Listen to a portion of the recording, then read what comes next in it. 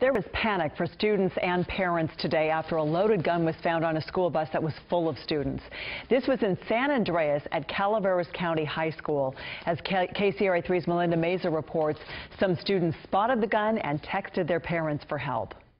School administrators say they're glad no students were hurt, but they say it could have been a lot worse when a student brought a loaded gun onto a school bus. A number of students uh, saw the firearm and, and, and, texted or called their parents. Parents called the school. And I'm sure the people on the bus were really scared because the bus was on lockdown.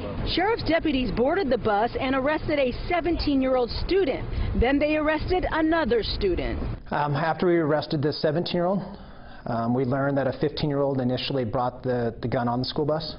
Some parents say they heard the gun was a Tech-9, an assault weapon, but officers would not confirm the type of gun because they did not want to jeopardize the investigation. If in fact it was that type of gun, those are designed to uh, kill a lot of people in close quarters. I know I don't know a whole lot about guns, but from what I understand, that's what that gun is made for. And they're in a bus, close quarters, with a lot of people on it. Could have been real bad. The superintendent says the district received a number of phone calls from parents once they heard about this incident, and he says a handful of parents came here to campus to pick up their child another Sandy Hook Elementary hymn. School administrators and sheriff's deputies say the students' quick action helped. We're going to learn from this, uh, but very scary that we could even be in a situation where we have to respond like that. In Calaveras County, Melinda Meza, KCRA 3 News.